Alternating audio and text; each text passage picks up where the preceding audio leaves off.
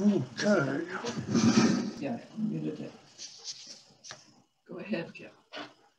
All right. Before I begin, I wanted to show you something which is unique. I'm going to hold it up. Can you see it? Higher.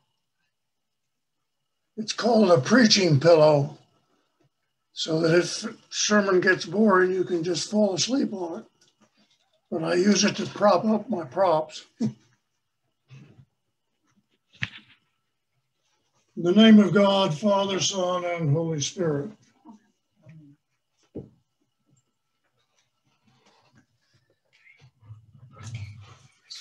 In this morning's gospel, we read about the birth of Jesus. Now, Jesus was born in Bethlehem of Judea in the days of Herod the king. The emphasis is not so much about Jesus' birth, but underlying the obvious.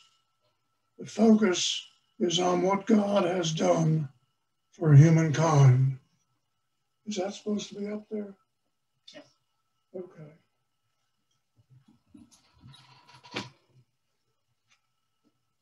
Apparently, what caused a great deal of consternation when Jesus was born was the fact that there was another king already in place. And of course, we all realize that that person was Herod. And so Jesus comes as the new king. And Herod is very upset. And so he sends out numerous people to find out where the, where the infant is laid so that he can come and, quote, worship him. We, re- we read the words in the hymn, Come and Worship the Newborn King, as we sing from our hymnal, which introduces early on the conflict which is now in the making the conflict of two kings, Jesus, and as I said before, Herod. Your task and mine is to internalize these events of over 2,000 years ago. When we apply this story to our present time, we too are experiencing a time of deep change. Not only change, but extreme danger, which we have been through and continue to be at this very moment. Every single one of us has had a journey in our own lifetime periods of conflict and of reorientation. One of my favorite theologians from Canada is Herbert O'Driscoll. And he says in his book, A Year of the Lord, in every society, political theory is having to change radically in response to new realities. And this has been as you realize, politically, a year of interesting times, a year of great change, and a year of surprises. The church is having to search for new ways of ministry. I remember when we were told there would no longer be worship in the person. How do we deal with that? What kind of services are we going to have? We're going to meet outdoors like we did and, uh, and then pass communion out in little plastic bags? Uh, or are we going to try and come to church and sit six, six to 20 feet apart? On Sundays, sometimes we go, we listen to the National Cathedral, and they have a very unique situation there. They have a quartet, which is pretty jazzy, and then they have uh, of course, a freestanding altar. But the communion service is the same as it will be this morning, and that is that celebrant, Father Gary, will celebrate just as the Dean of the National Cathedral celebrates. And then the service is over and a prayer is offered to receive the Holy Sacrament and spirit, and the service ends. but I find that uh, in those services, it brings back all kinds of memories of, of my own time and life in the church. So, Good Shepherd is still searching for better ways to uh, to do the service, and I think it's still going to be a while before we can uh, come to church and sit in the pew and and listen to the service. As we celebrate the gift of Jesus' birth, each one of us will continue to journey through uncharted experiences. The wise men gave their gifts of gold and frankincense and myrrh. And uh, I'm still waiting for mine because my birthday is on Epiphany. I haven't seen any of that, but I have ridden a couple of camels across the desert outside of Cairo. That's about as close as I've gotten to the scene of in Christ's time. But if we are going to try to internalize this story and not see it from a great distance, which some people tend to do, they say, well, that happened 2,000 years ago, and this happened 2,000 years ago. What meaning does it have for us other than something historical that took place? And I think we've been asked to somehow or other find ourselves in the context of that first epiphany, that first manifestation. And so this morning, I'd like to kind of share with you a few things that I think would be helpful uh, for us to kind of get, it, get inside the ethos, inside the space of that time. I think, I think that's a good thing to do.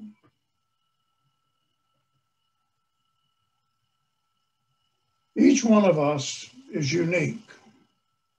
All of us have gifts, not gifts you can purchase in a store. Your gold, your frankincense, and your myrrh might be far more.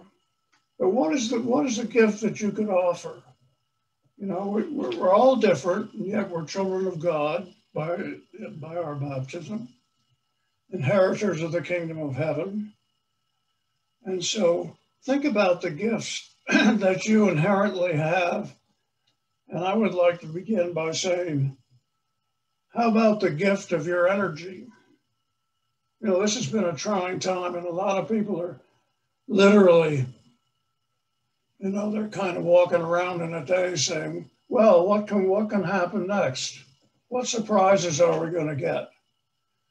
And um, so your energy is very important at a time like this. But your energy can also be a gift to do the work that God has sent you to do, which probably at this time is to pray for people and to support some people you know who are having a difficult time. Your integrity. You know, recently I've been watching a lot of movies and I am shocked, literally, and I'm not a person to be easily shocked and I've been through a lot of experiences that uh, if I were shocked, I wouldn't have survived it. But the point is, what about your integrity? How do you feel about yourself? Do you feel as good now as you did a year ago in terms of your personal integrity, your ability to stand for what you believe? And then there's your brain. You know, that's a gift we can give to God, our thinking. Look at the amazing things that have happened this year. A lot of it happened far, far above us in outer space. But think of all the people who invented situations and machinery that could get us not only to the moon, but beyond. And this continues and continues. And perhaps the most important thing is uh, what about our people who are out front, the nurses and the doctors and the scientists? This all comes from the human brain, does it not? You know, we, uh, I have to admire the medical profession. I always have. I've never been one to uh, kind of say, well, you can't trust them, because I've had to trust them on a number of occasions. But I think it's wonderful that the gifts that they have given to us and are now exercising to save the lives of thousands of people, not only here, but, uh, but across the world. So think about what you can offer intellectually uh, to God as a gift to the Christ child. We all have some intellectual abilities of one kind or another, some perhaps endowed with more. I'm not a scientist, never have been, obviously never will be. but um, some of you are, and some of you, as you look back in your life on your careers, whether it's raising children or doing some mathematical genius stuff for outer space. I have a grandson who's studying physics, and I, I told him one day, I said, you know, Galen, when I reached algebra, I reached the, uh, the pinnacle of my mathematical ability. I said, I can do geometry because it deals with things I can see, but forget about algebra. So I sort of quit, quit the mathematical field at that point in my life. Uh, but there are other things that I can do. Then there's your loyalties, your deepest elements of heart and mind and soul and strength. I suspect that your loyalties have been tested a great deal through this past year. Loyalties to uh, friends, loyalties to the church, loyalties to the nation. Uh, we're not the only, the pandemic is not the only crisis we're facing as, as I speak to you this morning.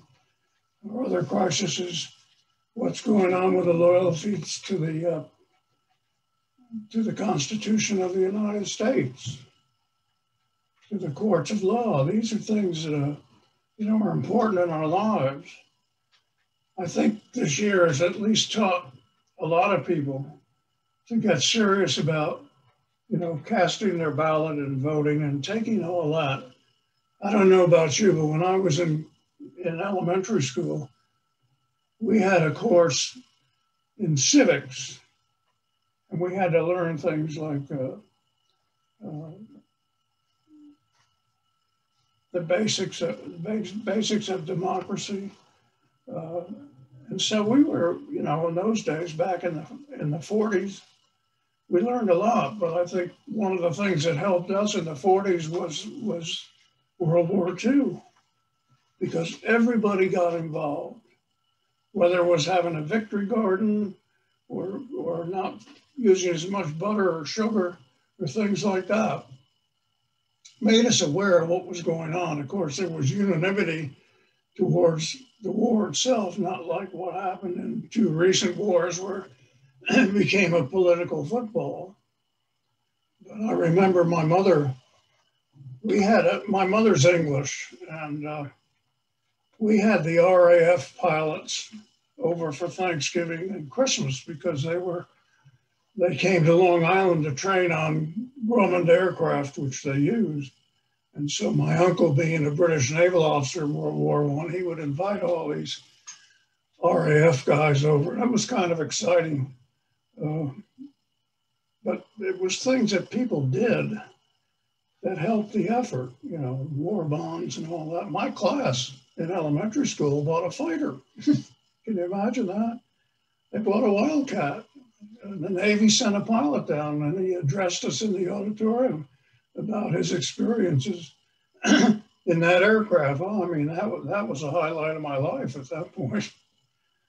So that has a lot to do with our loyalty. It has a lot to do with uh, our integrity. So, as I said, we too are children of God. And I keep remembering that if we're going to get, as Herbert O'Driscoll says it, if you want to get inside the situation, internalize it, these are some of the things that he mentioned. And uh, I would, you know, when you go home this afternoon, think about the gifts that you have. Think about your intellectual abilities and, and all those things. And uh, help us to understand to some degree what was happening back at that first manifestation at the Epiphany. There's a hymn that I think is wonderful, and that is Breathe on me, breath of God, fill me with life anew. That's hymn 508. So that I may love what you have loved and do what you would do. There it is. We even say in the Eucharist, here we present, O Lord, ourselves, our souls, our bodies to be a holy, living sacrifice.